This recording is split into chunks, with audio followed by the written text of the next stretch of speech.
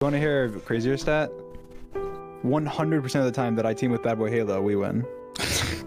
Wait, is that true with me as well? Uh, I guess yeah, because he's won. He's only won three. Well, he's won three times, and I've I've teamed with him three times, and we won every time. And Bad's teamed with me only three times. We've won every time. And you teamed with him twice, and you won both. I'm times, checking. right? Bad boy with you. Halo. You, might, you might have a 100% win rate with Bad as well. I do. Wow, that is the real character. I've won with him That's real twice, two out of two times. Also, I have a 100% win rate with Skeppy, I think.